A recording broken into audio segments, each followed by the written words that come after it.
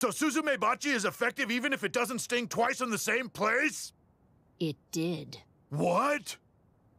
I struck him twice in the same location in his right lung. One from the front and one from the back.